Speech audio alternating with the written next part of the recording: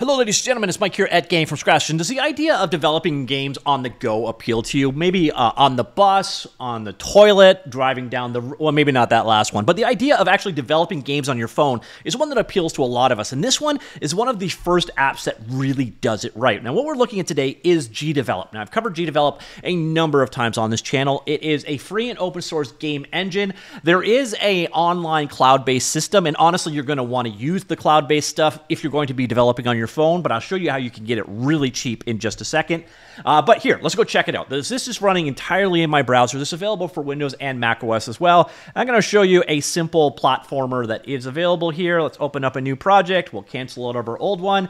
And here is GDevelop in action. Now, the big thing about GDevelop is it is a no-code game engine. So you've got everything you need to create and construct levels, such as this platformer right here. And I mean everything. So for example, this main character here, uh, we can edit it and we actually go in and we can change out uh, the, the frames of animation. There's actually a built-in animation editor here, so if we want to create our own sprites, they are built into the engine itself. There's a level editor, as you can see here, and then your programming is done through this visual spreadsheet approach. And this is what makes developing games on your phone actually work is because the like for example the Godot game engine is available on Android, but unless you're using an Android tablet and you have it hooked up to a mouse and keyboard, the experience is pretty crap because your on-screen keyboard takes up half of your screen. It's just going to be the nature of the beast with any kind of traditional programming language approach. So if you're trying to develop things like one-handed on your phone, it's just not going to happen. So this is the programming method behind the GDevelop game engine. Well, the big announcement they just made is you can now develop games on the go. So if you have an Android device, uh, you can now grab this on the Google Play Store. Uh, you've got all access to everything that you've seen. And if you have a cloud account, you can obviously create your applications, save them in the cloud, come back to your desktop, work on them there. So you can use it as just kind of an added screen. You can also use it as a testing environment. So instead of deploying to your device, you can actually build and run everything locally to your phone, which is some pretty cool stuff. You have access to pretty much everything you would expect, but you're going to really want to get that cloud version of it because you actually can't really save up to the cloud as easily. You get really limited in what you can do in that regard.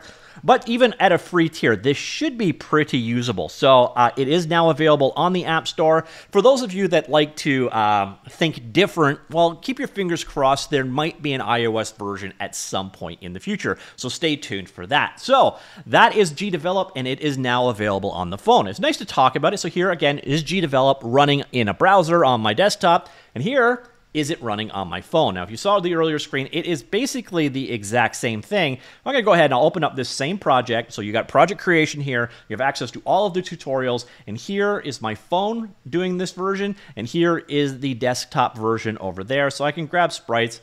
I can move them around. By the way, I should be able to save it.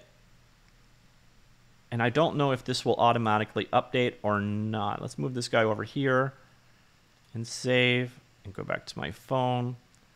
Okay, I don't think we're getting live syncing. Okay, I was kind of hoping that that would automatically happen. It does, but you see here, we have control over the level environment. We've got control over your player. So for example, down here, I can go in and edit that player, and we have access to all of those animation tools again. So if we want to go ahead and create new sprites, we can do so directly here. Uh, you got control over, again, all of the scripting logic is available here. We can set behaviors for it. So this guy has uh, built-in platformer object behaviors. We could add a new behavior in for it. This is kind of predefined stuff that kind of shows you, you know, common game development tasks. You don't have to do any coding here. You literally just drop a behavior on it and then, um, you know, configure some of the settings. So, for example, here, this platformer object has uh, animation names for running, jumping, falling, and so on, and other settings available there. You also got control over variables, and uh, some tutorials shows you how to do so. Now, one thing you may find is this screen can get a little bit tight for doing level editing. So if I want to change my level editing, well, we can actually work in landscape mode. Now, one of the things I found is for certain tasks, it is definitely handier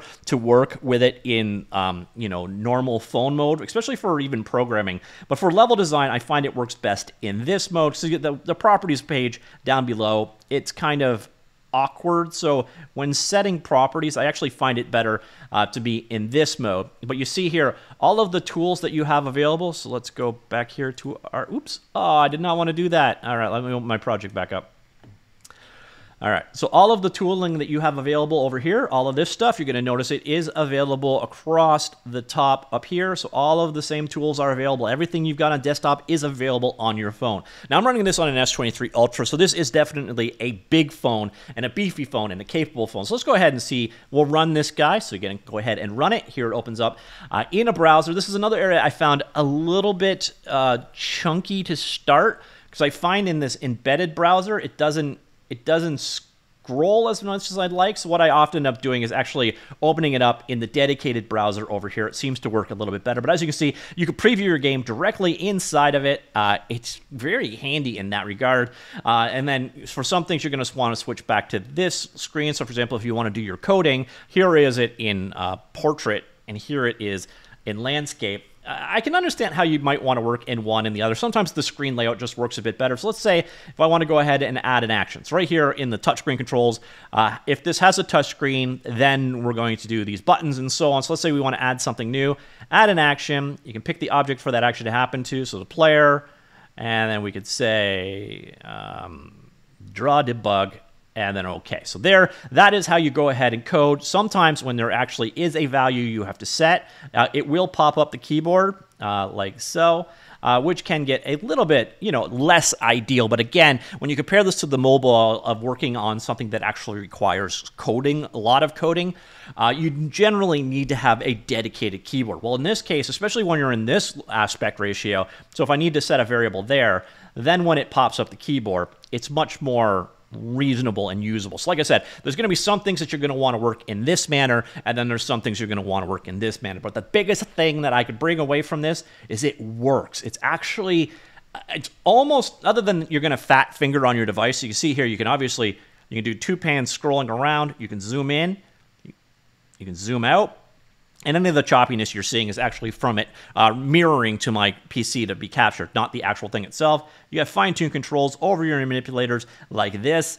Uh, it's it's just like working on the desktop for the most part. Uh, it, it's a nice environment. All of your tools are available over here. Again, some things are going to obviously work better in certain layouts, but all of your tooling is available here. So all of your settings, it is exactly the same as being on the desktop. So if you want to change things up, you can do so. And then the other cool thing is, once again, it is, oh, and are we synchronized yet?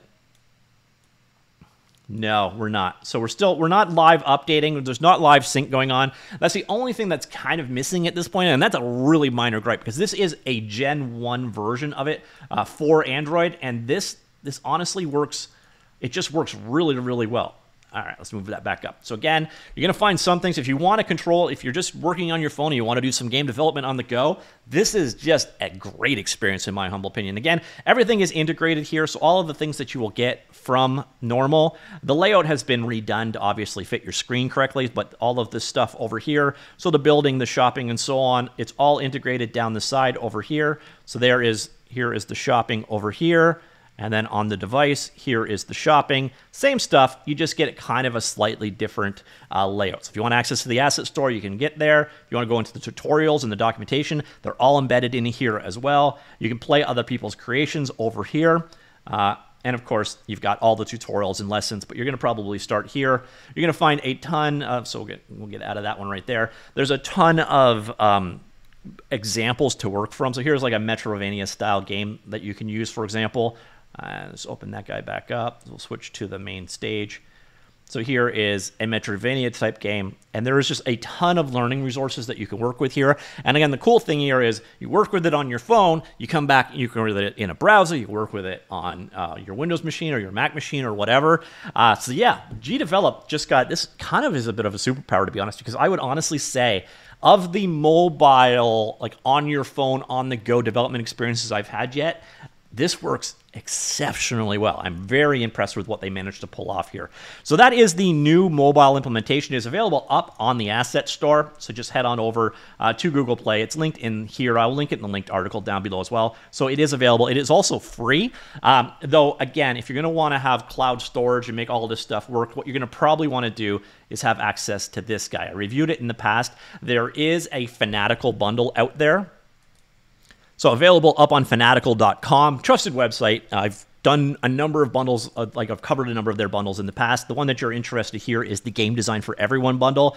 Uh, you pick this one up at the full tier for like 15 bucks US. You're getting a ton, but even at the $1 tier, uh, you're getting one month of gold subscription there, which will give you all the cloud saves and all the stuff that you need, etc. Whereas if you pick up the $15 one, you're getting uh, another 12 months total. So you're getting 13 months. So there's 12 months down here as well. You're getting 13 months subscription for like 15 bucks and then a ton of assets to get you up and going, plus a number of sample games and so on. So if you're interested in checking out GDevelop and you're looking for like a cloud package, it's hard to go wrong with this uh, currently running Fanatical bundle. So that is uh, the uh, GDevelop is now uh, available on mobile. Let's bring it back up on screen one last time. They, they just did they did a very good job of this. It's the the experience is just it's pretty seamless. It's a pleasant way to work while you're on the on the go.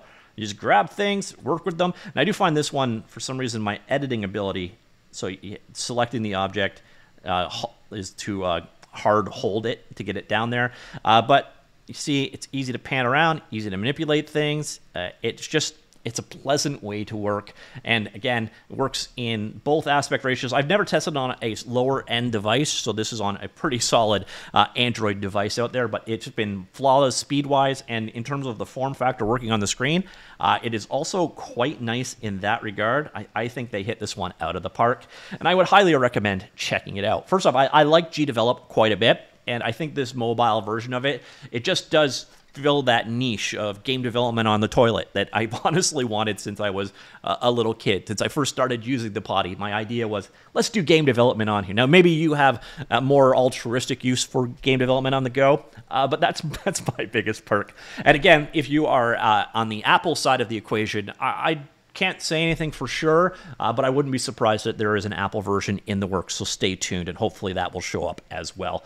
Uh, so yeah, that is it. Uh, Game develop on the Android device right now. Mobile development on the go has never been better, in my opinion. And if you've got an opinion of a game development system on the go that works better than this, I would love to hear it in the suggestions down below.